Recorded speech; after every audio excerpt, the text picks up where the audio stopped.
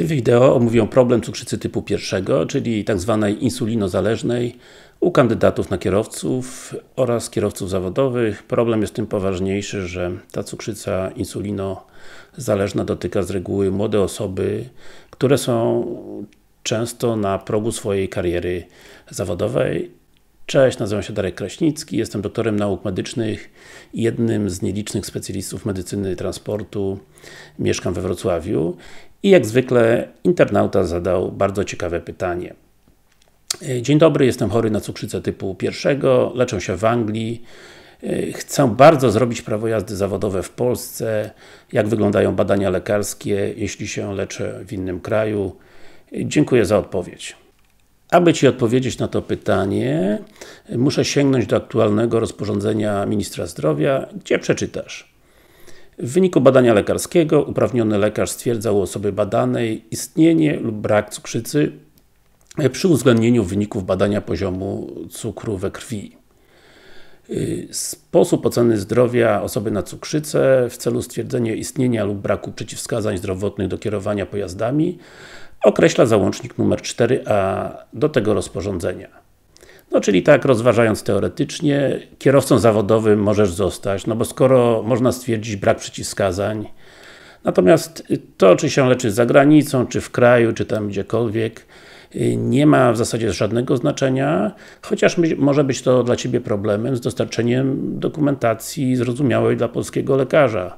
No bo logiczne, jeżeli kwity będą po angielsku, no to musisz znaleźć lekarza lub sam zapłacić za tłumacza przysięgłego, który to jakoś tam dla polskiego lekarza zrobi zrozumiałym. Sięgamy więc do tego załącznika, no i diabeł, jak to zwykle tkwi w szczegółach. Natomiast norma ministerialna jest taka. Osobie leczonej farmakologicznie, ubiegającej się o prawo jazdy kategorii C, C1, D, D1, C plus E, C1, D plus E, D plus 1 yy, pozwolenie do kierowania tramwajem lub świadectwo kwalifikacji zawodowej albo posiadające prawo, posiadającej prawo jazdy kategorii C, D, C, C plus E i tak dalej, ale w każdym razie zawodowe prawa jazdy, pozwolenie do kierowania tramwajem lub świadectwo kwalifikacji zawodowej, można wydać prawo jazdy albo przedłużać jego okres ważności pod warunkiem. Czyli można wydać prawo jazdy albo przedłużać jego okres ważności pod warunkiem. Warunek pierwszy. Przedstawienie opinii specjalisty diabetologa. No, w praktyce jest to tak zwana karta konsultacyjna diabetologiczna. Określona zresztą w tym załączniku 4a. Drugi warunek przeprowadzania regularnych kontrolnych badań lekarskich właściwych dla każdego przypadku, przy czym okres pomiędzy badaniami nie może przekraczać 3 lat. Chodzi tutaj o cukrzycę leczoną tabletkami, czyli nie nasz przypadek. Natomiast w przypadku insulinoterapii chodzi o jeden rok, czyli maksymalnie możesz dostać prawko zawodowe na jeden rok, jak leczysz się insuliną lub masz cukrzycę insulinozależną. A po tym roku oczywiście wizyta u lekarza uprawnionego. Warunek trzeci, wykazanie przez osobę ubiegającą się o prawo jazdy lub posiadającą prawo jazdy, czyli w sumie Ciebie, pełnej świadomości ryzyka hipoglikemii, a w szczególności zagrożenia utratą przytomności.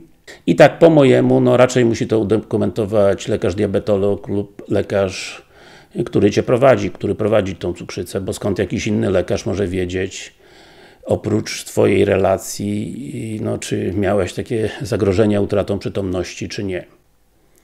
Warunek czwarty, odpowiedniej kontroli nad przebiegiem choroby przez osobę chorą na cukrzycę, a w szczególności poprzez regularne monitorowanie stężenia glukozy we krwi, przynajmniej dwa razy dziennie oraz w porach związanych z kierowaniem pojazdami. Czyli tak, no zastanawiając się nad tym, raczej również udokumentuje to diabetolog i bardziej na podstawie jakichś danych z pamięci glukometru, no bo inaczej tego sobie za bardzo nie wyobrażam. I oczywiście yy, piąte, y, udokumentowania kontroli nad przebiegiem choroby przez lekarza prowadzącego, czyli w mojej opinii jest to jakiś dodatkowy dokument od lekarza prowadzącego, no może być to jakiś lekarz rodzinny, czy lekarz, do którego chodzisz prywatnie. No i oczywiście, jeżeli tylko diabetolog jest Twoim lekarzem prowadzącym, no to yy, diabetologa. Zaraz dalej w tym rozporządzeniu czytamy, że w przypadku kierowców zawodowych bezwzględnym przeciwwskazaniem do kierowania pojazdami jest jakikolwiek przypadek ciężkiej hipoglikemii, nieświadomość tej hipoglikemii oraz inne powikłania związane z cukrzycą, wykluczające możliwość kierowania pojazdami. No, czyli znowu do oceny lekarza, sprawa dyskusyjna, czy powiedzmy, no, jak nie miałeś tej świadomości wcześniej, ale ktoś Cię uświadomił, i już, że tak powiem, prowadzisz się elegancko, czy ten przypadek wcześniejszy no, jest brany pod uwagę yy, w chwili obecnej, prawda?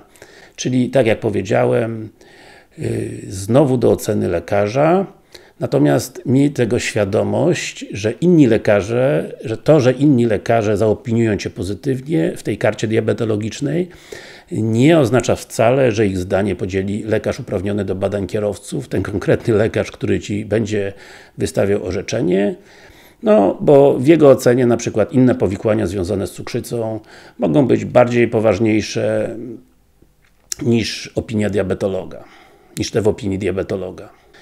No, dosyć tej teorii ministerialnej, yy, trochę praktyki. Y, znam kilka przypadków osobiście, z takich ciekawszych. Był na przykład jeden kierowca zawodowy, który zaczął się leczyć insuliną i ja go nie dopuściłem. Natomiast odwołał się, przeszedł badania w WOMP i dostał orzeczenie y, na jeden rok. Z drugiej strony znam inny przypadek. Pewien bardzo młody człowiek stracił tylko dlatego prawo jazdy kategorii B, czyli nawet niezawodowe, tylko dlatego, że wystąpił do MOPS-u, czyli opieki społecznej o stopień niepełnosprawności, oni go wysłali do jakiejś tam komisji orzekającej tą niepełnosprawność, a komisja, owszem, niepełnosprawność mu przyznała, ale przy okazji wystąpiła do Wojewódzkiego Ośrodka Medycyny Pracy o to, aby dżentelmena przebadać, no i jakby to powiedzieć, no niestety ten pan stracił prawo jazdy. Y, na tym w sumie kończę. No, nie trudno zauważyć, że y, Twoja chęć bycia kierowcą zawodowym z cukrzycą to nie będzie bułeczka z masłem, nie będzie gładko i miło i przyjemnie. No, tym niemniej czekam na Twój oddźwięk, szczególnie y, jak się mają sprawy w różnych innych częściach Polski. No, czy przeszedłeś te badania bez problemu? Jak nie przeszedłeś, to jaka była ta argumentacja lekarzy uprawnionych, szczególnie w wojewódzkich ośrodkach y, medycyny pracy. Jak przeszedłeś, oczywiście, jak to potem wyglądało przy przedłużaniu badań, no bo często może być, mogła być sytuacja, że y, dał Ci negatywny negatywne orzeczenie lekarz prowadzący, lekarz medycyny pracy prowadzący, odwołałeś się, WOMP Ci dał y, pozytywne, czyli jak to wyglądało przy przedłużaniu badań, no tak reasumując, y, postęp w leczeniu tej cywilizacyjnej choroby jest nieunikniony. No, być może i Ty jesteś w miarę nowocześnie prowadzony, także zapewne jakaś szansa na zawodowe prowadzenie pojazdów jest. Natomiast jeżeli to wideo Ci się podobało, daj oczywiście lajka, kciuka, y, udostępnij je na Facebooku lub na jakimś innym swoim ulubionym forum. Jeżeli masz jakieś pytania, zadaj je poprzez komentarze y, poniżej, odpowiem Ci na każde sensowne jakieś zapytanie. Także mówił Darek Kraśnicki z Wrocławia, doktor nauk medycznych i specjalista medycyny transportu. Do zobaczenia w moim następnym filmiku.